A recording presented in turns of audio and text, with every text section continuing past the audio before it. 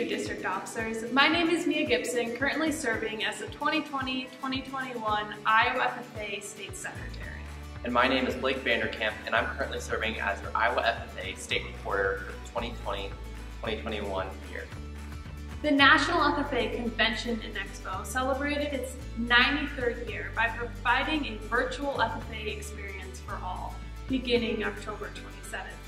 This event was televised by RFD TV in conjunction with the National FFA organization.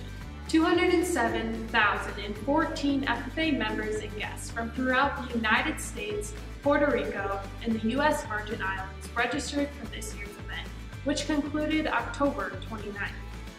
The convention and expo kicked off on live television on Tuesday, October 27th.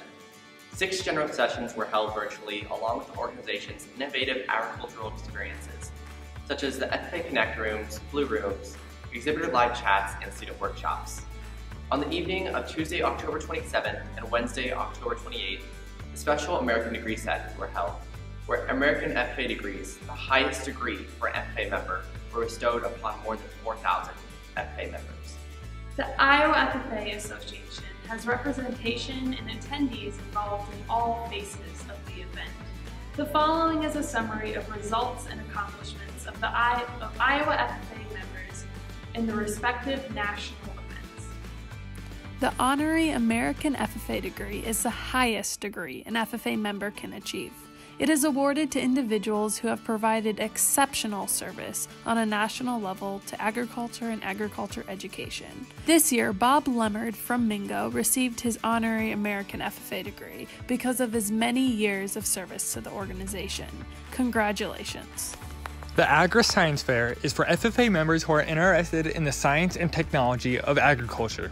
Students can compete in 36 divisions across six system areas animal, environmental and natural resources, food products and processing, plant, power, structural and technical, and social.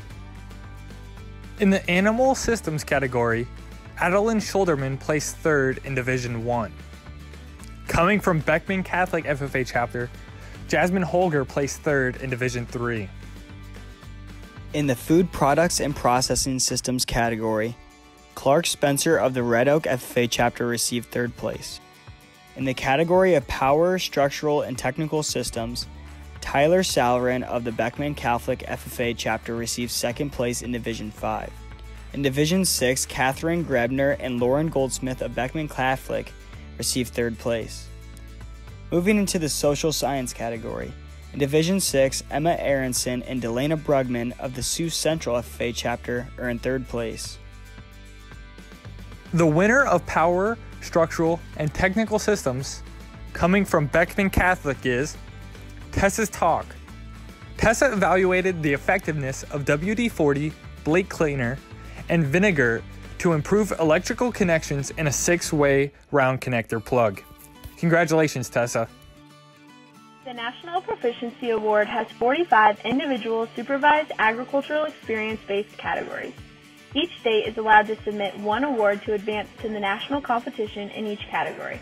In the area of agricultural communications, entrepreneurship, and placement went to Kelsey Holdgraffer from the Northeast FFA chapter at Goose Lake was a finalist. In the area of agricultural sales placement, Peyton Lehman from the North Fayette Valley FFA chapter was a finalist. In the area of beef production entrepreneurship, Ty Schullerman from the Spencer FFA chapter was a finalist. In the area of diversified agricultural production entrepreneurship placement, Blake Frost from the Charles City FFA chapter was a finalist. For the proficiency area of diversified crop production entrepreneurship, Jordan Balderston from the Alburnett FFA chapter was a finalist. In the area of specialty animal production entrepreneurship placement, Joshua Heffelfinger from the Grinnell FFA chapter was a finalist. The winner in the diversified crop production placement at the national level was Nathan Kroger from the Carroll FFA chapter. Nathan works for his family's crop farm and grain hauling business. He is tasked with all corn and soybean tasks from planting to harvest, and much more. The operation consists of 1,800 acres of soybeans and 6,000 acres of corn. Congratulations, Nathan. The National Chapter Award Program recognizes FFA chapters that successfully complete an annual program of activities, which includes a series of activities designed to encourage its members to grow as individuals, to work as part of a team, and to serve others. Iowa had 13 chapters that received a three star rating, along with 12 FFA chapters that received a two star rating. North Scott FFA was a finalist in the National Chapter Awards Models of Excellence category. National Chapter Models of Excellence awards chapters with exemplary qualities in growing leaders, building communities, and strengthening agriculture. 90% of North Scott FFA members do not come from an agricultural background. Therefore, they base their activities on that and strive to develop their members through strong relationships in the community and a diverse program of activities. Every year, members from across the nation audition to be involved in the National FFA Band, Choir, and Talent. This year, two Iowa FFA members performed in the National FFA Band, which was conducted virtually. This included Megan Byratt from the Pella FFA chapter and Michaela Field from the Iowa Falls Alden FFA chapter. The American FFA degree is the highest degree that a member can receive. Less than 1% of members receive this prestigious award.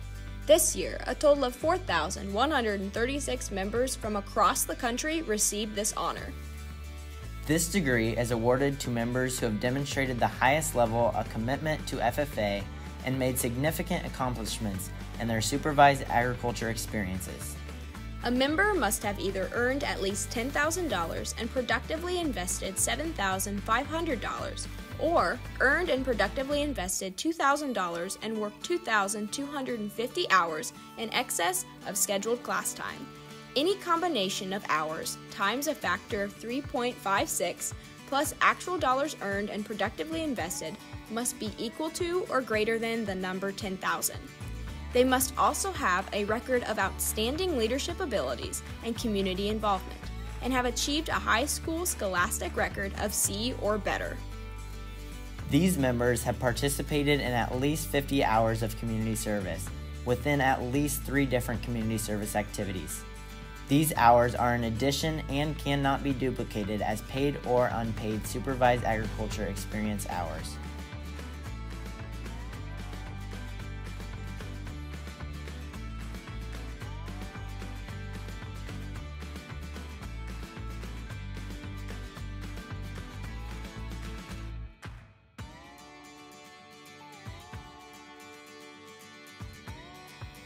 These are the 126 American degree recipients from Iowa. Congratulations to everyone that competed at the 93rd National FFA Convention. We also hope that all of the FFA members in attendance enjoyed the innovative FFA experiences and opportunities provided throughout this convention. This experience strives to promote all members' development of their premier leadership, personal growth, and career success. This convention was truly FFA for all. Once again, my name is Blake Vanderkamp, and I'm serving as your Iowa FFA State Reporter. And I'm Mia Gibson, serving as your Iowa FFA State Secretary. We hope you enjoyed, and stay tuned for the next episode of Iowa FFA Today. We will see you sometime.